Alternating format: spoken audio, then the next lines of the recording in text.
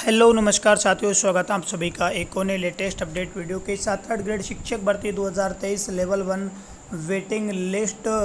Waiting list कब तक आने की संभावना है? इसी के साथ लेवल टू वेटिंग वाले अभ्यर्थियों का काउंसलिंग शेड्यूल कब तक जारी किया जाएगा? लेवल वन जिला आवंटन यहाँ पर कब तक जारी होने की उम्मीद है? ए टू जेड संपूर्ण जानकारी आपको इसी वीडियो में मिलने वाली है। वीडियो को कंप्लीट वॉच करें, चैनल पर पहली बार आएँ तो प्लीज़ चैनल को सब्सक्राइब करें बेलाइकन को प्रेस करें, जिससे आपको आने वाली हर लेटेस्ट वीडियो का नोटिफिकेशन आपको मिलता रहे।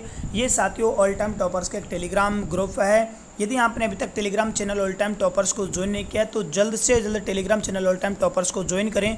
इस पर आपको शिक्षक भर्ती 2023 से रिलेटेड सभी प्रकार के अपडेट, सबसे पहले सबसे सटीक आपको उपलब्ध होती है। अब बात करते हैं साथियों, सबसे पहले हम यहाँ पर level two Sanskrit counselling schedule को लेकर। यानी कि लेवल टू में संस्कृत वेटिंग वाले अभ्यर्थियों का जिला आवंटन जारी कर दिया गया, लेकिन अभी तक काउंसलिंग शेड्यूल जारी नहीं किया गया है।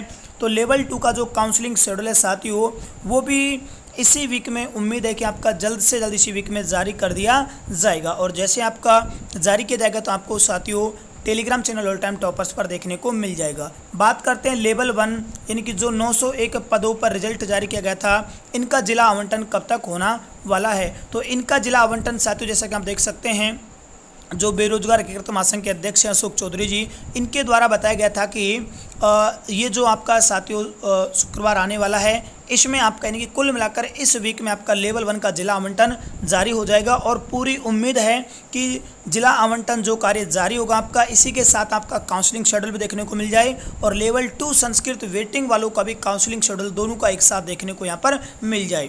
ठीक है, अब बात करते हैं वेटिंग लिस्ट को लेकर। तो वेटिंग लिस्ट की यदि मैं बात करता हूँ साथियों तो वेटिंग लिस्ट आपको जो है जुलाई लास्ट तक आपको देखने को मिल जाएगी और वेटिंग लिस्ट के भी लिए साथियों जल्द से जल्द प्रयास किया जाएगा कि यहाँ पर शिक्षण निदेशालय बीकानेर जो है, वो जल्द से जल्द स्कूलों में जो रिक्त पद हैं, वो प्रत्येक ज़िले वाइज साथियों जल्द से जल्द मंगवाए, जिससे कि वेटिंग लिस्ट आपकी जल्द जल्द जारी हो सके। इसके लिए भी आपको लिए जल्दी प्रयास किया जाएगा। आशा करता हूँ जानकारी आपको अच्छी लगेगी तो प्लीज़ वीडियो को लाइक शेयर करें।